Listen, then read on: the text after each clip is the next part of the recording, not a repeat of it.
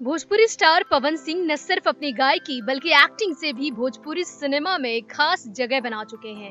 इन दिनों पवन सिंह के तकरीबन हर वीडियो सोशल मीडिया पर धूम मचा रहे हैं। भोजपुरी सिनेमा में बॉलीवुड के सनी देओल जैसी भूमिका रखने वाले पवन सिंह के फाइटिंग सीन तो काफ़ी फ़ेमस है ही। बेशक आपने देखे भी होंगे। लेकिन क्या आप जानते हैं कि फ़िल्मों में इस भोजपुरी स्टार का रोमांस भी शाहरुख खान से कम नहीं रहा है? हाल ही में रिलीज़ हुई पवन सिंह की भोजपुरी फ़िल्म क्रैक फाइटर काफ़ी ज़्यादा चर्चा में है। फ़िल्म के गाने की सोशल मीडिया पर धूम मची हुई है। ऐसे में फ़िल्म का गाना देखे खातिर तर से काफ़ी ज़्यादा पॉपुलर हो रहा है। चांदनी सिंह और पवन सिंह का ये गाना यूट्यूब पर हाल ही में अपलोड किया गया है।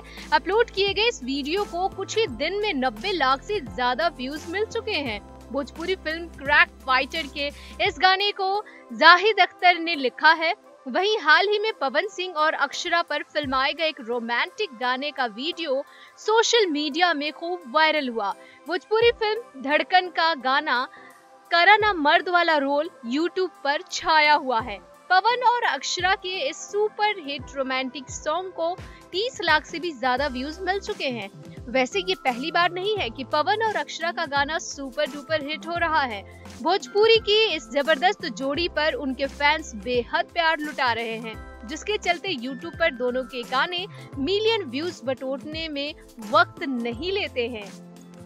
तो हमारी शुभकामनाएँ पवन सिंह के साथ है और जिस तरीके से पवन सिंह के फैंस फॉलोइंग बढ़ते जा रहे हैं, उम्मीद है कि जल्द ही पवन सिंह वो मुकाम हासिल कर लेंगे जिसका ख्वाब अक्सर हर एक सितारा देखता है। भोजपुरी जगत के सबसे महान सितारा के रूप में देखा जाता है पवन सिंह को और पवन सिंह वैसे भी बहुत अच्छी एक्टिंग करते हैं।